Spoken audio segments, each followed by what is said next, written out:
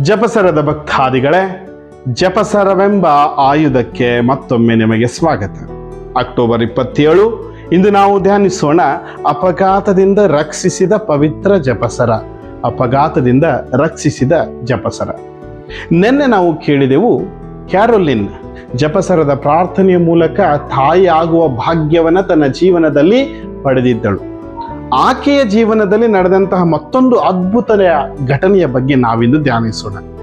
ಬಾಲಯೇಸು ಮತ್ತು ಮಾತೆ ಮರಿಯ ಅನುಗ್ರಹಿಸಿದ ವರದಾನದಿಂದ ಕ್ಯಾರೋಲಿನ್ ತಾನು ತಾಯಿಯಾದದ್ದನ್ನು ಎಲ್ಲರೊಂದಿಗೆ ಹಂಚಿಕೊಂಡಿದ್ದಳು.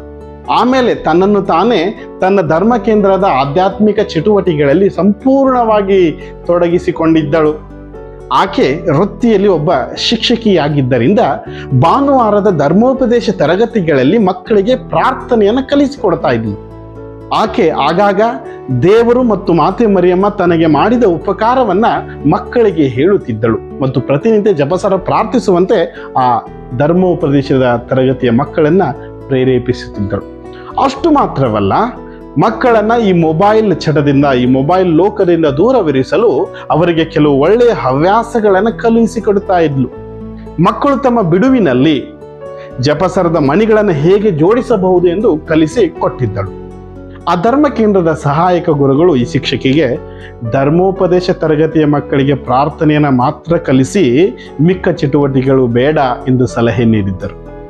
ಬಹುಶಃ ಈ ನವ ಗುರುಗಳಿಗೆ ಜಪಸರದ ಅನುಭವ ಆಗಿರಲಿಕ್ಕಿಲ್ಲ ಎಂದುಕೊಂಡು ಕ್ಯಾರೋಲಿನ್ ಸುಮ್ಮನಾಗಿದ್ದಳು.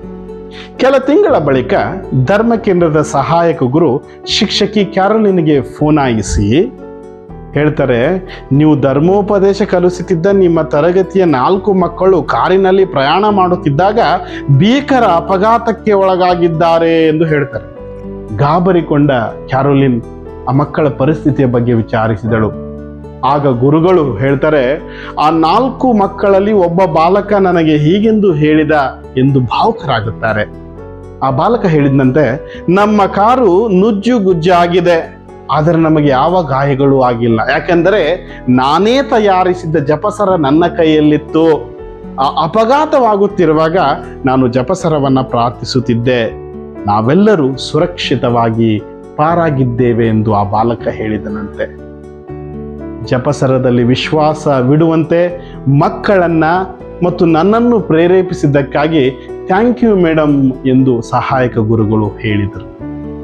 ಪ್ರಿಯರೇ, ಅದಾಗಿದೆ ಜಪಸರದ ಶಕ್ತಿ. ಬನ್ನಿ, ಅಪಘಾತಗಳಿಂದ ರಕ್ಷಿಸುವ ಜಪಸರವನ್ನ ನಾವಿಂದು ಭಕ್ತಿಯಿಂದ ಪ್ರಾರ್ಥಿಸೋಣ. ಆಮೇನ್.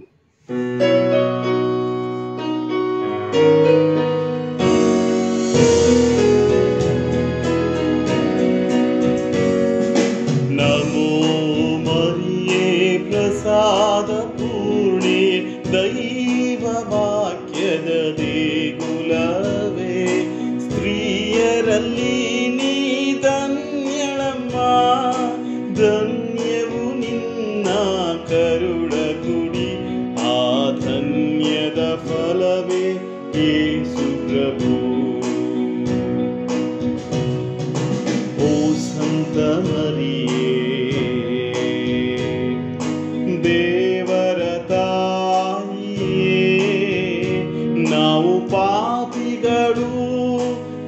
ನಮಗಾಗಿ ಪ್ರಾರ್ಥಿಸಮ್ಮ. ಈಗಲೂ ಯಾವಾಗಲೂ ಈಗಲೂ